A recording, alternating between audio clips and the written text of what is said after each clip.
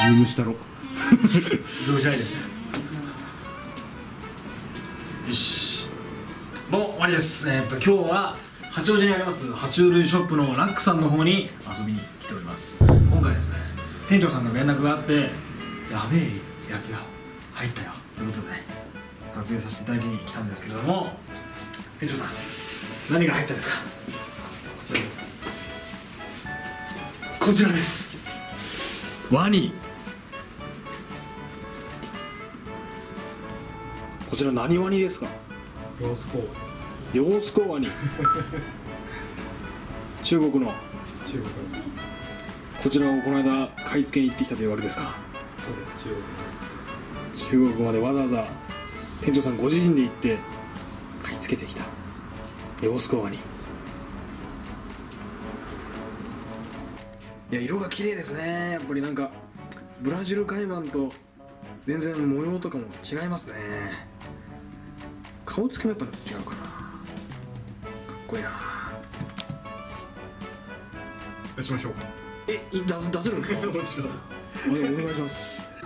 おおまだちっちゃいですね。ちっちゃいですまだ。30センチぐらいですかね。1年ぐらいですうーん。もう元気いっぱいだ。あかわいい。ちょっと顔立ちがやっぱ違いますねブラジルカイマンとか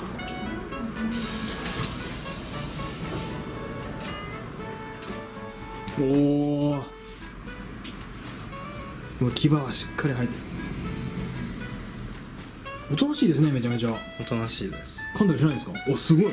そんなとこ触っても大丈夫。噛まないですね。すげえ。触りますか？えいいんですか？もちろん。ぜひぜひ。おはようござい。ますああかわいいおとなしいえめっちゃおとなしい。うちのやつともう大違い。うちのやつはでも触る前からもう「あーわーって言うのに。あのおとなしいワニが欲しい方はヨースコワニの方がいいかもしれませんね。ヨースコワニってこの個体が特別おとなしいとかじゃなくてなんか種類全体でおとなしかったりするんですかね？全体的に温厚ですけどこの子はあれですね。特に。ファームでもう何千匹の中からあおとなしい子選んできたんおとなしくて太ってて。なるほど。色の綺麗な子。確かに体型もすごいいい。全然痩せてない。あーいいですね。1.5メーターぐらいですか多分大人。まあ10年じゃ多分なんないですけ最大1 5メーターぐらい。1.5になるかなって感じなかわいいそうこれ餌は今何あげてるんですか？今金魚とピンクマウスですね。うん。超かわい。い暴れるのに全然噛もうとはしない。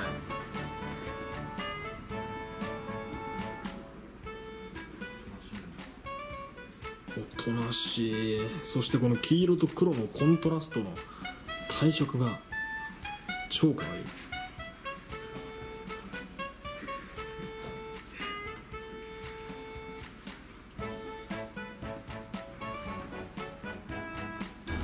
今餌の頻度はどんぐらいなんですかね？2日に1回ぐらいあげてますうんなるほどいい体験触ってますね餌あげてみますか？いいですか？今回当てるのはこちらの金魚ですね。餌金。じ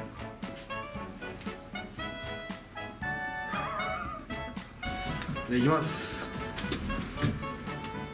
映ってる？ご飯ですよ。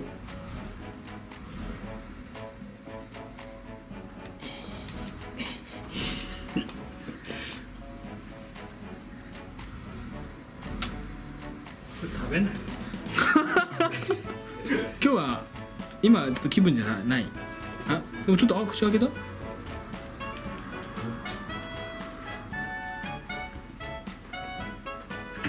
あ食べた。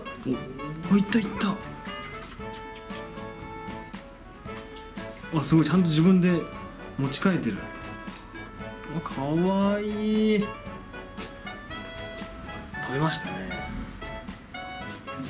ナビバさん。はい。野さん。えっと僕も餌をあげられるということで金魚をあげていきたいと思います。はい。はい。ワニの気持ちになってあげてくださいね、マミさん今どんな気持ちですか？やかましいわああ気持ちが分かってない。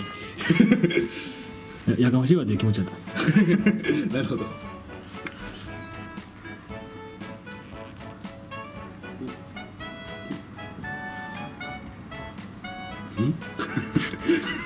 食べるかな。ついてはくるけど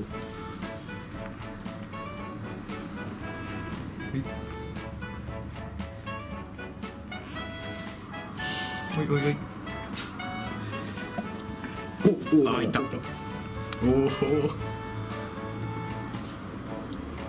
かわいい。かわいいどういうどういう？あ怒らしちゃった。どういう感情？どういう感情？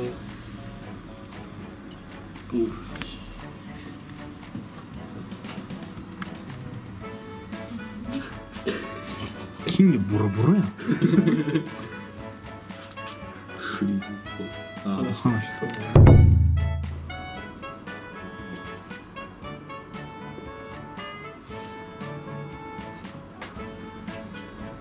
やく取れたおーしやっぱりワニの気持ちになるのが一番大事だからさ。みんなしたらワニの気持ちになれてなかったみたいだけどもね。それしか言わない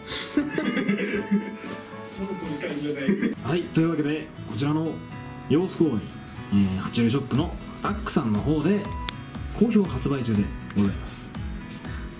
ラックさんはあの普段結構あのー入荷とかでお店を開けてしまっていることが多いんですけれどもあのツイッターの方であらかじめ連絡をしておけばお店を開けてくれるということなんでツイッターでね、まあ、DM なり電話をするなりしてあのツイッターの方に電話番号載ってますんでねそちらの方で連絡してお店の方に行くといいと思います。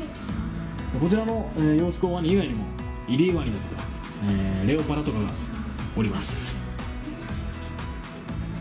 という感じで今回の動画はこれで終わりにしたいと思いますまた次の動画でお会いしましょうやっぱり、まあ、生き物の餌やるときってさ、まあ、その生き物の気持ち考えるのね、一番大事ですからね。